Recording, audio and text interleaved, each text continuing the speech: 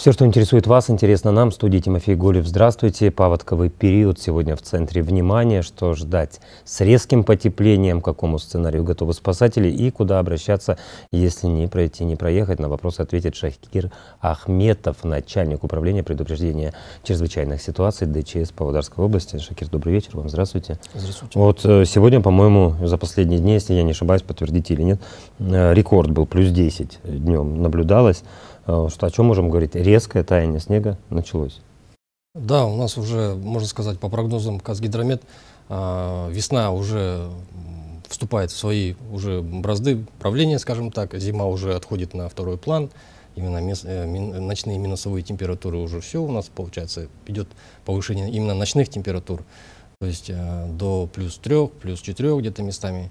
Вот, а через неделю уже, соответственно, уже плюс 15, плюс 17 уже ночью это уже будет такая температура. То есть это говорит о том, что работа вам прибавилась. Уже прибавилась, скажите мне? Да, с учетом э, климатических условий в этом году э, осадков у нас выпало в два раза больше нормы. Э, усугубляет еще вот промерзание грунта, то есть у нас э, есть места, где более двух метров земля промерзла. То есть э, представляете, если э, налить стакан воды на стол, то куда она пойдет? Она будет искать свои ходы, а впитывать землю не будет. Помимо этого еще усугубляет ситуацию и ледяная корка, которая образовалась на территории вот именно вот этих населенных, в районе населенных пунктов, в степной зоне. То есть тоже в купе все это усугубляет ситуацию. Вот. И плюс получается у нас еще, а, как вы помните, в прошлом году до середины декабря у нас шли дожди, а, земля у нас очень сильно увлажнилась. После этого у нас пошли сильные морозы, все это замерзло, то есть ну, именно с точки зрения погодных климатических условий у нас в этом году немножко сложнее ситуация, чем в сравнении с прошлым годом. Вот, дорогие друзья, прекрасно помним, да, и вы в постах тоже указывали, где снег, а потом, когда он начал падать, говорили о том, он наконец-то есть, и есть снег, и вот в два раза даже больше э, нормы той, которая обычно среднегодичная идет. А, потопленные участки есть ли? Вот у нас есть рубрика «Мобильное приложение», Э, которая выходит каждый день в новостях, буквально вот 15 минут назад она была в эфире, э, у нас только потопы. Люди отправляют частный сектор, люди отправляют пригородные села и прочее. Э, вот то, что мы видим по этим картинкам, машины в лужах, у людей в огородах вода, можно ли это назвать подтоплением? Ну, смотрите, у нас вот с учетом именно климатических условий, повышения температуры резкого, у нас плюс еще купе где-то какие-то дожди прошли. А, сложная обстановка в населенных пунктах, скажем так, сложилась именно вот, допустим, если брать областной центр, у нас пригород. То есть, как и второй э, город Павлодар, это, соответственно, второй Павлодар, э, частный сектор э, Зеленстрой, дачный. Вот у нас там немножко сложная ситуация была. А, если брать пригород, то это вот поселок Атамикен, поселок Железнодорожный, вот, а, город Аксу, микрорайонный Аксу, там возникли у нас а, сложные ситуации именно с, с а, образованием талых вод. А, районный а у нас Павлодарский район, это село Розовка. Сейчас наши ребята совместно с Акиматом, а, местными исполнительными органами, дорожными службами проводят работу там по откачке талых вод. А, район Теренколь. А, в целом а, у нас вот именно такая сложная ситуация вот в, в этих регионах. Вот Байнаульский район. Были года, когда там дороги даже смывало. Как там ситуация в этом году? В этом году Байнаульский район, там э, основную угрозу представляют именно две плотины Акжар-Каратука, которые расположены на территории Карагандинской области, это в Бухарджарамском районе. Э, в этом году мы совместно с местными исполнительными органами, органами прокуратуры совершали аэровизуальное обследование. Мы вот э, на той неделе летали туда, на эти плотины, э, побеседовали с местными специалистами. В этом году эти плотины заполнены около нормы, то есть тот процент, который необходим, максимальный такой критический, он в этом году не будет. Не достиг, да, не, не достигнет. Не достигнет, да. Сейчас у нас наблюдается прохождение талых вод именно по Байнаульскому району вдоль русла реки Ашису, но это местная вода, получается, с гор, которая вот подтаяла. В принципе, она сейчас идет, э, каких-то угроз она не создает. Нет, сейчас а, Байнойский район идет чисто мониторинг у нас. Просто мониторинг. Да. Ну и там в плюс, да, эта вода, то есть это увлажнение, ну потом же почва, опять же, растительности, все, все-таки национальный парк, дорогие друзья. Mm-hmm. В пригороде Павлодара а, были ли факты и вот те села, которые вы называете, дополнительно, прям в дома, чтобы зашла вода? Ну, сказать, что да, были такие факты, что у нас придворовые территории потоплены, где-то хозяйственные постройки, да, именно. А так, чтобы вода зашла, там, по сказать, что... Ну, чтобы мебель плавала, такого нет? Нет, такого не было у нас, такие факты не поступали. Где-то были моменты, где действительно там вода заходила, буквально минут 10-15, там откачали воду, быстро в целом оперативно отработали. Сейчас мы совместно с Акиматом в тесном работе находимся, именно вот круглые сутки. У нас развернут оперативный штаб э, в департаменте, как в департаменте областной, так и во всех регионах. Круглосуточно проводится мониторинг. Акимы сельских округов, наши специалисты постоянно мониторят ситуации, каждый час э, докладывают ситуацию, обстановку. Если где-то что-то происходит, какой-то критический уровень, то оперативно уже выезжаем. Ну, сейчас у нас главная задача совместно с местным исполнительным органом – это уберечь дома. Это цель, это наша задача номер один. Угу. Если где-то э, возникает угроза именно жилым домам, что вот вода может зайти, это у нас в приоритете. В приоритете. Но контролируете, да? Техники достаточно? Техники достаточно. Она же не ваша, вот это вот, санизаторы машины, это все-таки коммунальные Коммунальные, это, да. Это Подготовлено? Да, да, это все готово. А да. людям куда обращаться, если вдруг идет потопление? Служба 109 есть, э, туда можно звонить, заявки подавать. Акиматы, э, как акиматы районов, сельских округов, в крайнем случае уже, в крайнем случае, если там 112, 100, 112 101, ну это крайний случай. Ну это в крайнем случае, дорогие друзья, запомните, пожалуйста, 109 мы с вами уже все вызубрили, сам лично тоже пользовался этой службой. Интересная служба, кстати, там потом еще обзваниваются, а ваша заявка удовлетворена, спрашивают или нет. Вот, кстати, я им сказал, говорю, спасибо, что перезвонили, э, нет, и уже сам забыл, что обращался, к примеру.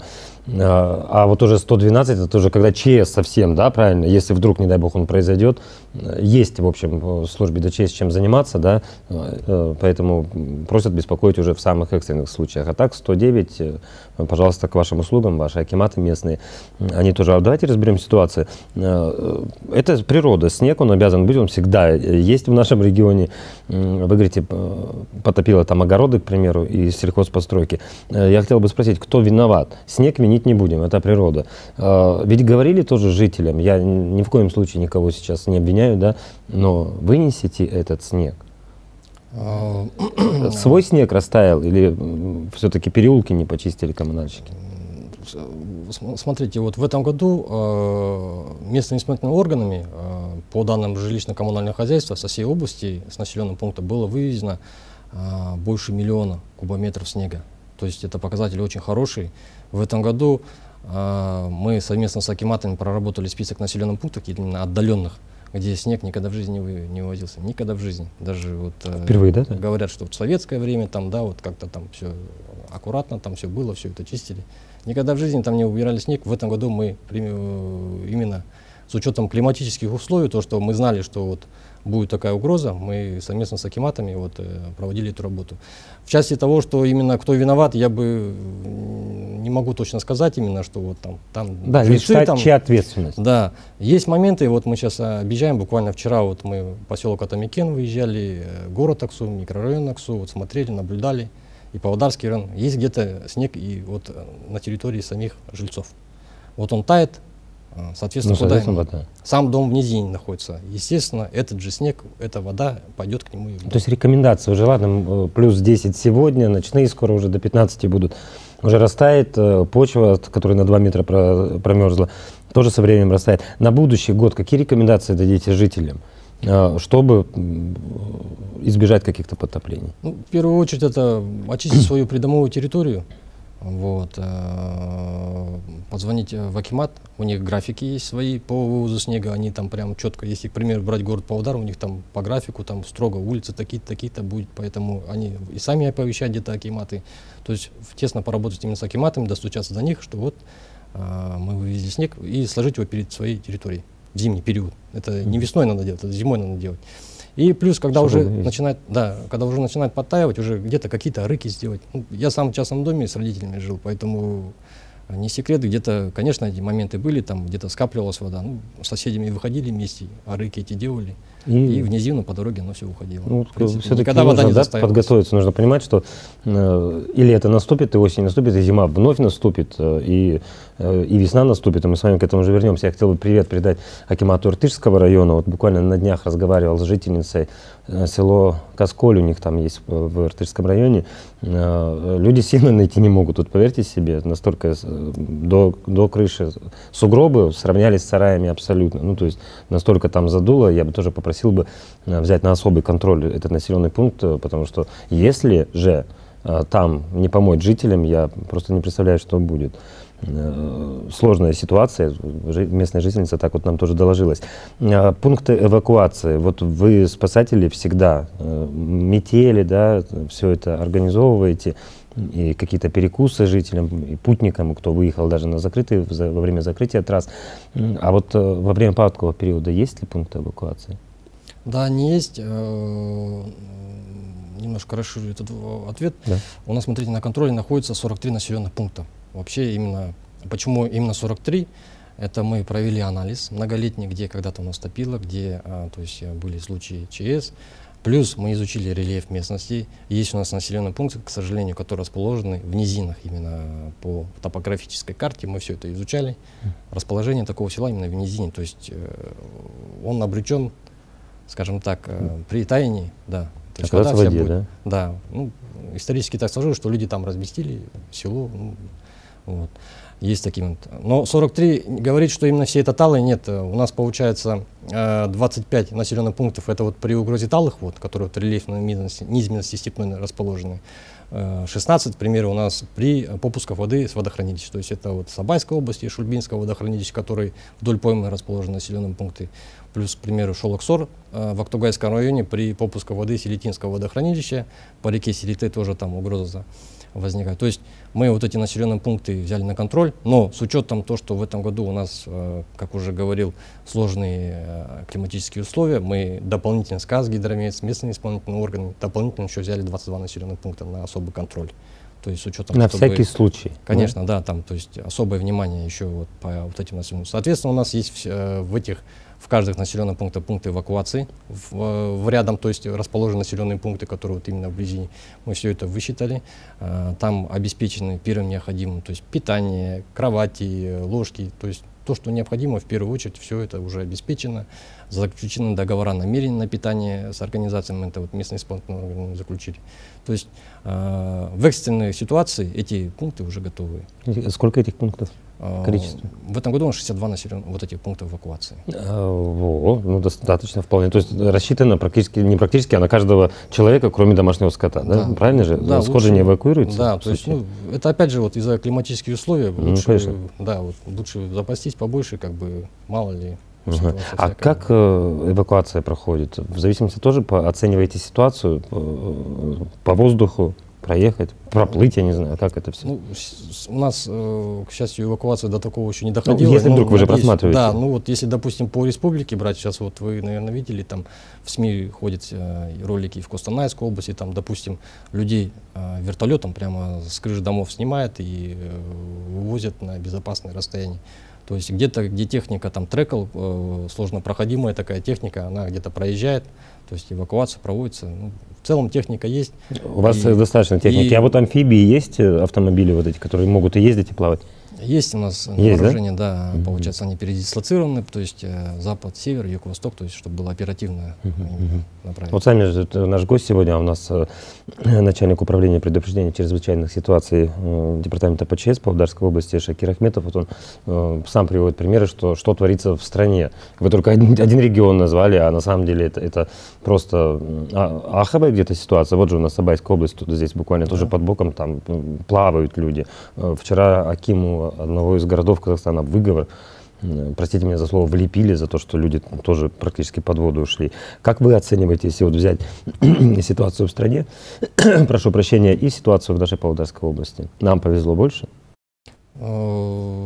Или вы Я бы даже сработали? сказал, не сколько повезло, сколько то, что мы э, готовились к этому. Вот, я Где-то каким-то моментом, да, мы в этом году очень серьезно подошли, и вот э, именно Акиматы, вот основная доля э, приходится именно на работу Акимат. Как Акиматы отработают, такие принципе, основная работа. А мы наготове в случае чего? Да, мы, ну, соответственно, ну, давайте оценку тогда дадим. Мы прям... где-то координируем. Я не говорю, что у нас прям идеально все. Есть какие-то моменты, да, где-то там, а, но они не настолько критичны, чтобы там, допустим, объявлять ЧС.